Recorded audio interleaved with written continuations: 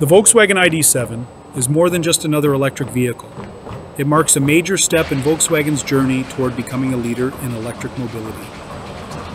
And where this journey comes to life is in Emden, Germany, an industrial powerhouse now transformed into a hub of innovation for the company's new all electric sedan. The Emden plant is one of Volkswagen's oldest production facilities, but it is anything but outdated. Located in Lower Saxony, the plant has gone through an extensive overhaul to support the shift from internal combustion engine models to fully electric vehicles. Originally focused on manufacturing the Passat, the site has now embraced the future with full scale production of the ID4 and the ID7. The transformation was not small. Volkswagen invested heavily in upgrading the factory with state of the art robotics, new assembly lines, and high tech quality control systems. By 2025, the brand plans to ramp up production at Emden to around 190,000 electric vehicles annually, with the ID7 taking up a large share of that volume. These are not just any cars, they are precision engineered electric sedans built for range, comfort, and cutting edge technology. Production of the Volkswagen ID7 officially began in August 2023. The move showed Volkswagen's commitment not only to electrification, but also to keeping jobs local by ensuring Germany remains a central player in the company's global EV strategy. The Emden plant employs more than 8,000 people and has become a symbol of Volkswagen's sustainable future. So, what makes the ID7 worth talking about? For starters, it is built on the modular electric drive matrix platform which gives it both flexibility and performance. It comes in multiple versions the ID7 Pro with a 77 kilowatt hour battery, the ID7 Pro S with an 86 kilowatt hour battery, and the all wheel drive ID7 GTX, which pushes out a combined 340 horsepower thanks to its dual motor setup. The ID7 is not just about performance, it is also incredibly efficient. In a test conducted by Volkswagen, the Pro S variant managed to cover 941 kilometers on a single charge, beating even its own WLTP range estimate. That puts it in the upper tier of electric sedans for range, something that matters a lot for buyers looking for peace of mind during long distance travel. On the inside, the ID7 brings a whole new vibe. The cabin is open, clean, and modern, featuring a 15 inch touchscreen that controls nearly every function of the car. It has an augmented reality head up display, smart air vents that move air without needing to adjust manually, and even seats that monitor moisture and adjust their cooling and heating functions accordingly.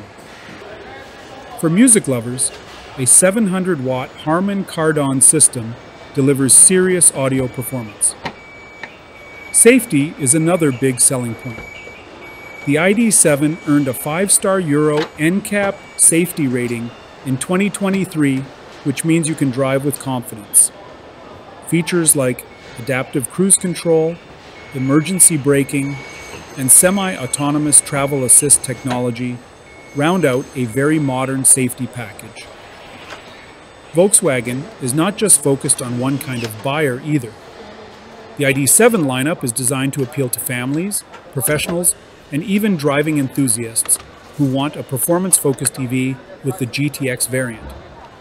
Plus, an ID7 Tourer wagon model is on the way, making it even more versatile. Looking ahead, the ID7 plays a key role in Volkswagen's broader electrification strategy. As competition grows with vehicles like the Tesla Model 3, Hyundai Ioniq 6, and the upcoming BMW i5, Volkswagen is leaning on its reputation for build quality and global scale to stay ahead. The ID7 is not just a new car, it is the face of a new era for Volkswagen. One where performance, range, and sustainability meet in a vehicle that feels genuinely exciting to drive. And it all starts in Emden, where tradition and transformation now go hand in hand. Do not forget to like, subscribe, and hit the notification bell so you never miss another deep dive into the future of electric mobility.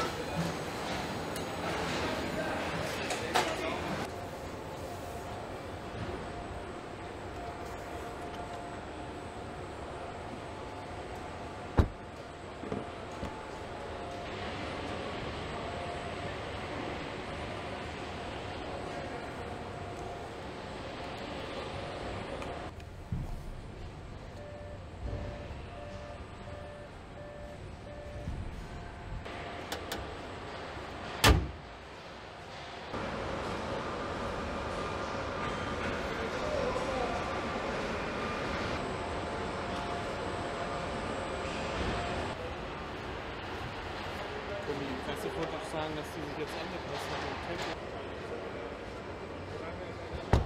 Nee, nee, nee.